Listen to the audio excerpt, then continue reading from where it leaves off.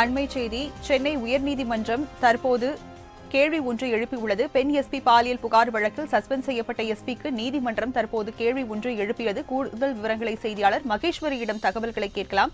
மகேஸ்வரி இந்த வழக்கின் விவரங்களை பதிவு பண்ணுங்க.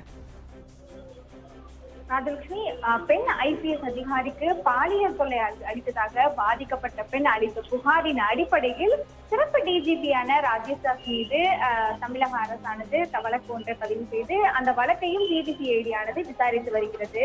இந்த நிலையில்தான் அஹ், பெண் எஸ்பிக்கு கூடுதல் டிஜிபி பாலியல் தொல்லை கொடுத்த வழக்கில் இருந்து தன்னை விடுவிக்க வேண்டும் என்று ஒரு கோரிக்கையை முன்னிறுத்தி சஸ்பெண்ட் செய்யப்பட்ட எஸ்பிஜி கண்ணன் என்பவர் சில உயர்நீதிமன்றத்தில் வழக்கு ஒன்றை தொடர்ந்திருந்தார். அந்த வழக்கானது இன்றைய தினம் சென்னை உயர்நீதிமன்றத்தினுடைய நீதியரசரான வேல்முருகன் அவர்கள் முன்னிலையில் இன்றைய தினம் விசாரணைக்கு எடுத்துக் கொள்ளப்படுகிறது. அப்போது மனுதாரரான கண்ணன் தரப்பில் ஆஜரான ஆஹ், வழக்கறிஞர் அவர்கள் வா- ஆஜராகி வாதிடுகையில் கூடுதல் டிஜிபியாக இருந்த ராஜேஷ் அவர்களுடைய அறிவுறுத்தலின் படியில் தான் தான் செயல்பட்டதாக மனுதாரர் சார்பில் ஆஜரான வழக்கறிஞர் அவர்கள் தெரிவித்தார்.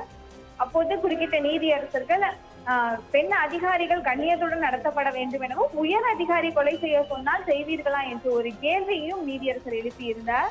மேலும் உயர் அதிகாரிகளே இது போன்ற குற்றச்சாட்டுகளுக்கு ஆளானால் காவல்துறையின் மீது மக்களுக்கு எந்த ஒரு எப்படி ஒரு நம்பிக்கை இருக்கும் என்ற ஒரு கேள்வியையும் நீதியரசர்கள் எழுப்பியிருந்தார்கள்.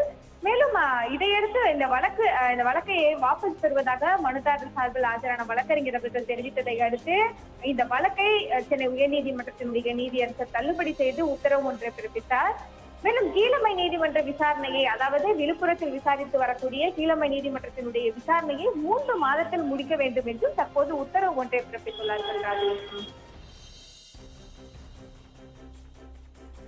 மகேஸ்வரி விவரங்களுக்கு நன்றி.